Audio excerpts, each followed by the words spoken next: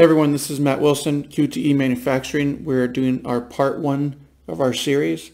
We are doing automate for an arm. So it's going to be a manual automated plan. So first thing we're going to do is we'll look at our print here. We got a blueprint on the model. We're going to do a bolt hole pattern. We're going to do a slot. We're going to do a um, overall distance here of the seven inches. We're going to do the sphere and we're going to also do a scan of this front curve right here. So let's go over and we're going to turn on our surfaces. First thing we're going to do is the, right here, this is how you add in an auto align. Click there, right click, add target.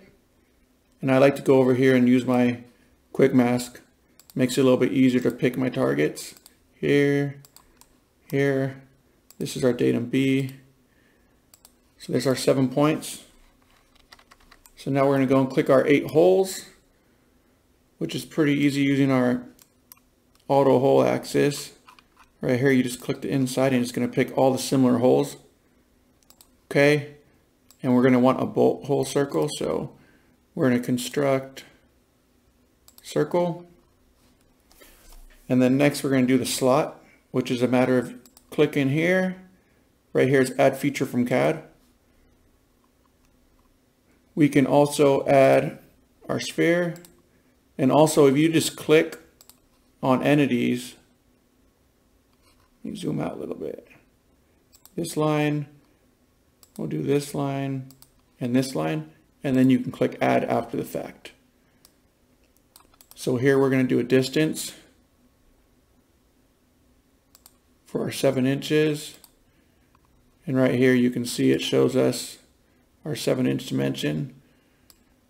And then right here we're going to right click and we're going to construct an angle. And then the last thing we're going to do is we're going to add a, we're going to measure this surface right here. And we're going to do a curve to surface points. So we're going to click this surface. Okay. And then from here, we're just going to adjust it in the right spot. So right now it's shifted the wrong way.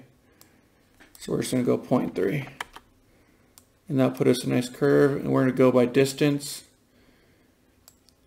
Let's just go 0.5 so that gives us a nice little scan right across the side. And we're going to go okay. And it has a path on it which means that it is on automated so we need to change this back to manual. We're going to go okay. And we look at our targets.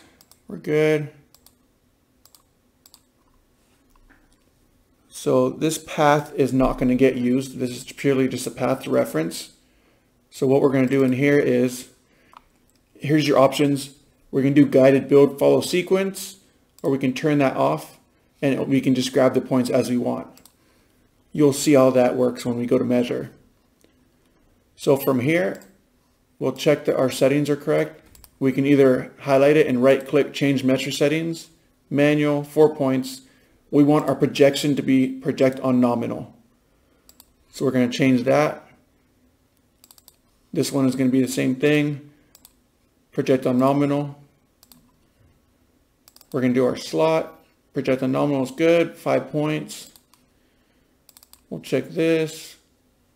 Five points is fine. We can actually change that. Let's change it to nine points. We'll highlight all of our lines and check them all at once. Change measure settings, two points, project on nominal, manual. So we're good to go. So this program is ready to run now. So we, in our next video, we're going to run it with the arm and we're going to inspect the part. So I hope to see you guys back. Have a good one. Thanks.